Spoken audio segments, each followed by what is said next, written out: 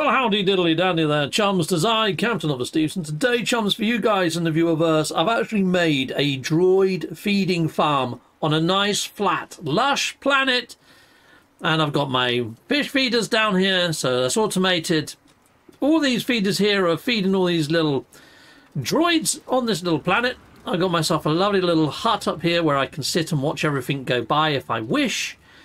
And I've got this down here as well. It's got a couple of carbon racks in there so I can actually make some more bait sticks to feed the droids as and when.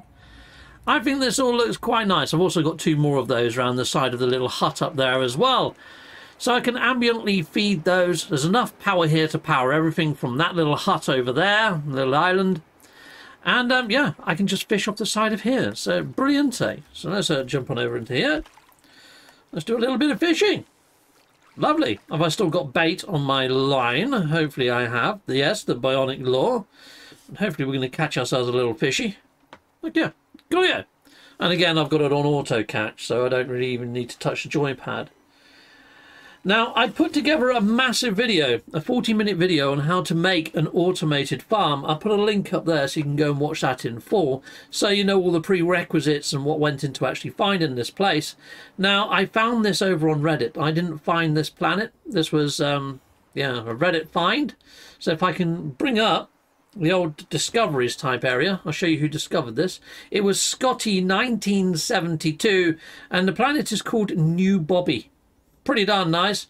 And it's in the system Hoffen Redo. And it was actually found by DJ Lemon Mouse M. So there you go, people. Credit where credit's due and all that sort of shenanigans. But if you do want to come here, by all means, please do. Portal code down in the bottom left corner of the screen. I'll try and make that as big as I can for you guys in the viewerverse. Right, well, let's go see how this automated harvesting has gone so far. I mean, I've only been here the time that it's taken me to build this base, and I've got 17 chewy wires already in there. So in no time at all, I've already outdone my previous base in a roundabout way. Now, I can put a couple of harvester units here when it comes to, say, the, uh, the air. So I can put one of those here for oxygen, perhaps. I just want to put this out of the way a little. I'll probably put it around the back of my hut. I'll put it just here. Okay, cool. Yeah, wrong button. There you are, right button. Lovely. Now these things here, you have to independently fuel those. I'm going to get nitrogen out of that one. We're preferred oxygen to be fair, but there we go. Yeah, you can't always get what you want, can you? But there we go. Done, diddly and done.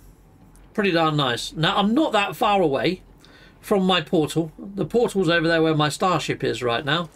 So as long as I look out across the pier, I can see the portal over there. So I can quickly get to a portal from this as well. So this is my droid fishing farm. So the idea is I fill these up with these bait sticks, which I can make from carbon, nice and easy. Then I can go down here, start doing some fishing. Have chow. And while I'm fishing, I'm getting nanites from these guys fishing over in the background over there. And I can just turn it like that. I've got it on auto catch anyway. So I can actually see what's going on up there anyhow. And hopefully I'm going to be getting a lot of chewy wires. Catching a load of fish. I can release the fish. I can get nanites from the fishing. And then I can also get nanites from the, you know, the droids. There you go. I could even cast there if I wanted to people. So catching and releasing fish. Feeding the droids I should get myself a shed load of nanites. This is a lovely little nanite farm, and it's just so relaxing. You know, you can just throw this on in the background while you're doing something else, and it's ambient nanite farm. Yeah, the joy. There you go. So there we go. Caught a fish. So what I mean by releasing the fish, you just go into your menu, go over to a fish and release it. And you can see there I got some nanites for that. There you go. So I got myself 105 nanites for releasing that fish. But not only that, I can go up to here and from just using carbon, I can go over to this thing. Well, I've got 23 now. Take those out of there. Over here. And I can just eat these. You consume them like so. Now I've got that on auto confirm. And I've got 178 there. So what do I mean by auto confirm? If you go into options and you go into, I think it's it's either in general or accessibility. I think it might be in accessibility. But you can make it so you can just um, hold to confirm, always instant. So just change that to always instant and you'll be able to do what I'm doing there. And if you want to auto fish, like I was doing, where you don't have to touch the joypad. You go into your settings, go all the way down to the bottom, and just turn fishing to auto catch, and then you're automatically going to catch your fish. So that makes everything far more relaxing, far more sort of ambient in its way of doing stuff. And yeah, just go back to fishing. And this is my little automatic nanite farm now, people. Lovely. There you are. So you go, peeps. If you do want to come here, if you do want to build your own little farm like this, please do. What I would say, though, is if you turn your back on the droids and you're not looking at the droids, sometimes you don't get as many chewy wires because they can despawn. If the creatures despawn, you're not going to get your chewy wires. Now, I've built on this small little island where hopefully I'm guaranteed to always get droids appear, but I don't know whether that's a certainty. This base could end up being completely redundant in a, in a week or two if the droids stop spawning here.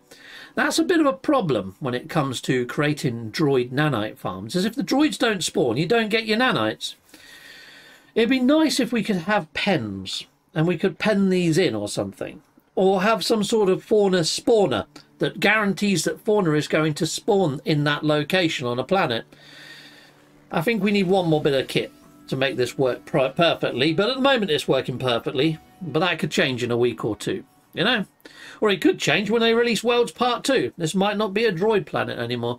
Anyway, for now it works, and I'm giving you the coordinates. If you want to come here, you want to build a base like this, please do. It's a great way to earn nanites, and we're doing very little.